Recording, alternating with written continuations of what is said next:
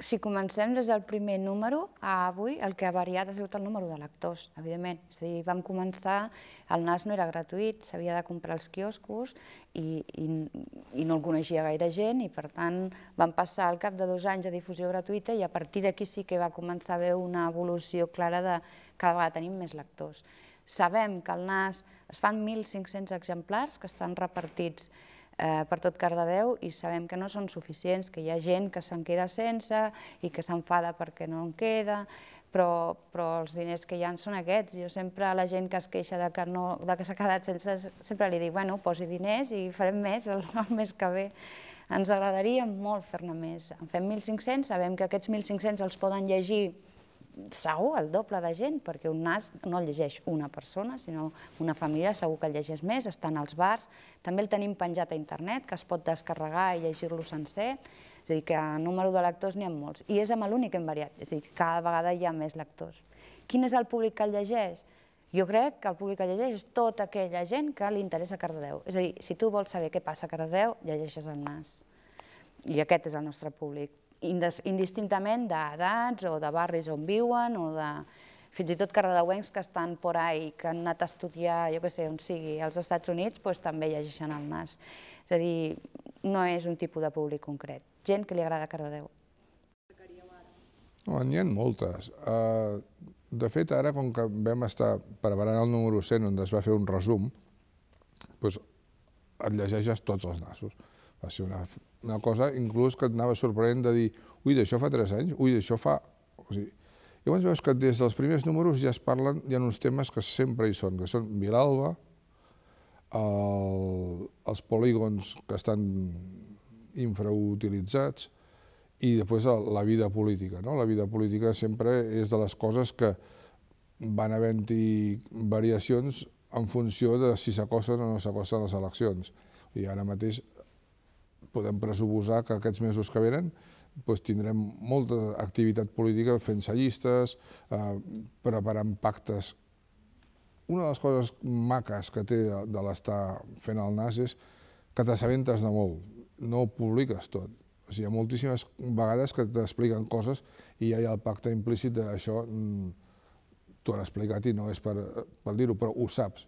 I això et fa entendre poder molt el, el que hi ha. Llavors, notícies que són molt destacables, els canvis d'alcaldies, el 4, sí, hi ha hagut, eh, la Cristina Viadé va ser la primera, després vam tenir el, la Montse, després el Quimom, el Mas Ferrer, que la van... No hi ha hagut res més pel mig. No. doncs, no, no, hi ha hagut eh, els canvis aquests, hi ha hagut també el, algun assumpte del que ens vam sentir molt satisfets de tirar de la manta, com va ser el cas Pretòria, que es anava a organitzar la, la finca D. També va ser un dels temes que van intentar que no diguéssim ni piu. Bueno, I llavors, moltes vegades, quan et diuen d'aquest assumpte no es tireu, doncs és el que et venen més ganes, no? Vull dir, allà què passa. No, no és follonero. És, moltes vegades es dius, aviam, i per què, per què hem de callar d'aquesta història, que justament és una cosa que és important, no? El, hi ha temes com pot ser les notícies referents al karting, que també, mm, clar, en el fons, encara que siguis objectiu, et posiciones, et vas posicionant. Dones més notícies d'un bon sentit que un altre, i els titulars, els titulars mm, moltes vegades marquen la notícia. O sigui, a la mateixa titular el varies i estàs dient una cosa pràcticament al contrari, o pots destacar eh, aspectes, vull dir que en els plens, per exemple, pots limitar-te a dir quins punts s'han tractat i l'altre és subratllar tons de veu o coses que han passat. Eh, com a notícies grosses, no, eh, hi ha aquestes cosetes que són importants pel poble, com ha nevat, que això pues, amb un medi que sigui fora de local importa un pepino, o ha caigut un arbre que ha tallat tal carrer.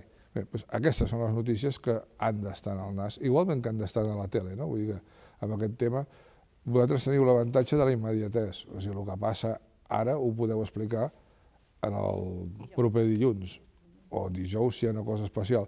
Nosaltres ens hem d'esperar sempre al principi del mes següent.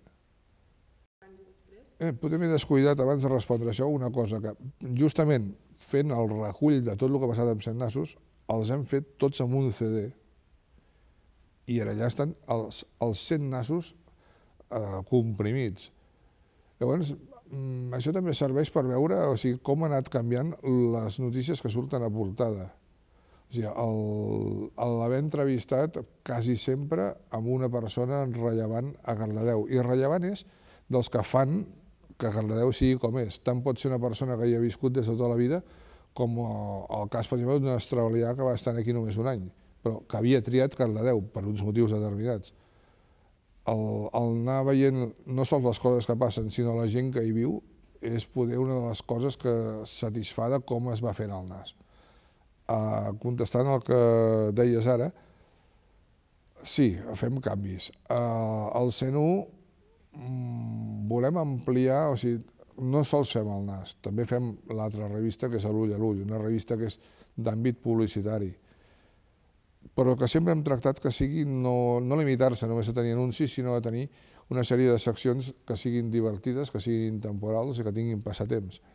Doncs això el que farem serà incorporar-ho, unificar-ho tot en el NAS. O sigui, el NAS 101 tindrà el mateix que porta ara, més eh, ficarem seccions de les que estaven a l'ull, ficant-hi això, els passatemps i notícies curioses que l'únic que volen és entretenir. O sigui, serà un dels canvis importants. Només cal que et llegeixis, o que qualsevol persona llegeixi el NAS número 100 per veure que hem rebut unes felicitacions que per nosaltres, és a dir, no, els mitjans locals, bueno, qualsevol mitjà, et costa molt rebre felicitacions, més aviat reps les queixes quan alguna cosa no agrada, doncs aquest nascent eh, per nosaltres ha sigut emotiu, ha sigut, mm, no sé, un reconeixement públic així que ens ha, ens ha satisfet molt, és a dir, estem molt orgullosos. I a més a més, agraïm a tota la gent que ha fet possible aquest número 100, hi ha moltíssima publicitat perquè la gent ens ha volgut donar suport amb aquest número 100, és a dir, que imagina't com estem, no salimos, és a dir, estem molt contents. No, seguir, seguir igual. Sí, o sigui, mm, no és allò que diguis que tot està perfecte ni molt menys, però vull dir, és anar continuant el que hi ha i afegint aquestes seccions de passatemps que poden tenir també la seva gràcia. Que sí, que és a dir, que el que volem és arribar al 200, és a dir, volem celebrar els 200 i crec que ho aconseguirem. Xavi Segovia... 9 anys, 9 anys, 9 anys són res, pim-pam. Uh, poder sí, però a mi m'agrada més les coses a més a curt termini. Vull dir, ara estem treballant al 101 i ja comences a repartir tasques pel 102 i final d'any està molt lluny.